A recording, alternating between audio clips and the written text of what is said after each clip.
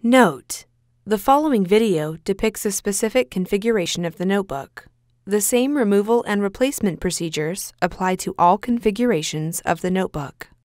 Note: Depending on your notebook's configuration, you may have either a WLAN or WLAN Bluetooth combo module. However, the removal and replacement of these modules is identical and demonstrated in the following video.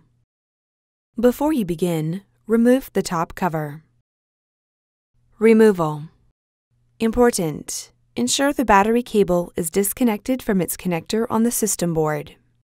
Important. Make careful note of which terminal the wireless antenna cables are connected to on the wireless module for later replacement. Carefully disconnect the wireless antenna cables from the wireless module by grasping the connector with a small pair of needle nose pliers or tweezers.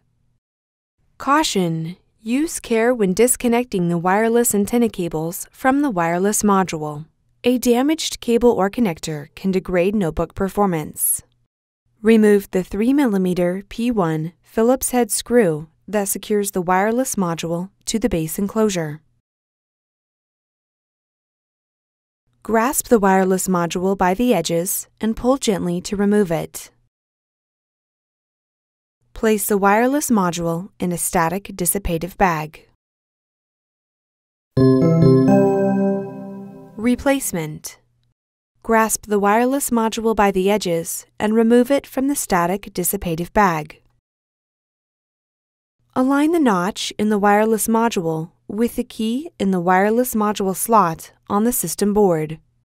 Gently insert the wireless module into its slot on the system board. Replace the 3mm P1 Phillips head screw that secures the wireless module to the base enclosure.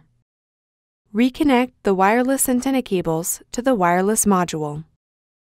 Caution! Use care when connecting the wireless antenna cables to the wireless module. A damaged cable or connector can degrade notebook performance.